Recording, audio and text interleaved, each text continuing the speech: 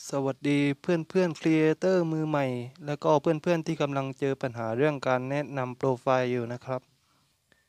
เนื่องจากผมได้ทำคลิปการส่งคำร้องเรื่องการแนะนำโปรไฟล์นะครับ และมีคำถามจากเพื่อนเพื่อนหลายคนว่าใช้เวลารอนานไหม ส่งไปแล้วแนะนำได้เลยไหม บางคนก็ใช้เวลาแค่สองสามวันก็ผ่านแต่ทำไมของเราส่งไปแล้ว สี่ห้าวันก็ยังไม่ผ่าน อันนี้ขึ้นอยู่กับ Facebook นะครับว่าเขาจะมาตรวจสอบคำร้องของเราตอนไหน แต่เราส่งไปก่อนก็มีโอกาสจะผ่านเร็วก่อนที่คนที่ยังไม่ได้ส่งอะไรไปเลยนะฮะ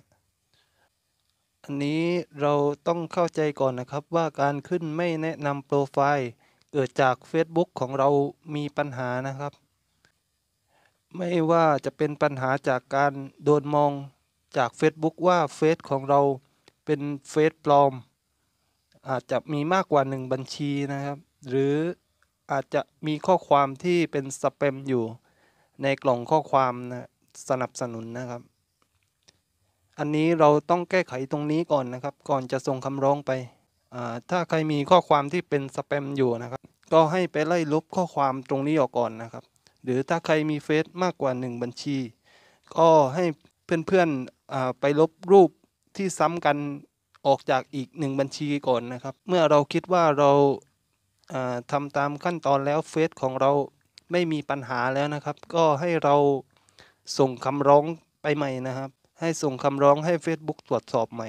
แล้วก็รอข้อความที่ Facebook ส่งว่าแนะนำต่อได้มาให้นะครับ ใครที่ยังไม่ดูคลิปการส่งคำร้องก็ทำตามคลิปที่ผมเคยลงไว้ได้เลยนะครับ การส่งคำร้อง และในช่วงที่เรารอ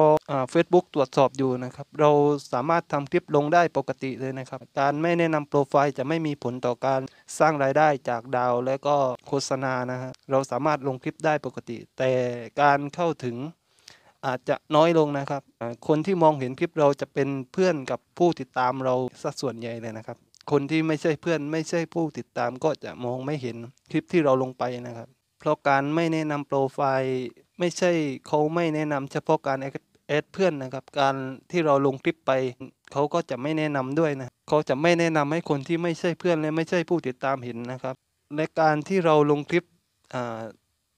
ลงไปอย่างต่อเนื่องนะครับ จะทำให้เฟซเรามีการเคลื่อนไหวอยู่นะครับ แสดงว่าเฟซของเรามีการใช้งานอยู่จริงนะครับ เวลา Facebook มาตรวจสอบก็จะได้ผ่านแนะนำได้เร็วขึ้นนะครับ และสุดท้ายก็ขอให้เพื่อนๆครีเอเตอร์ทุกคนผ่านตรวจสอบคำร้องกันเร็วๆนะครับ ขอบคุณมากครับ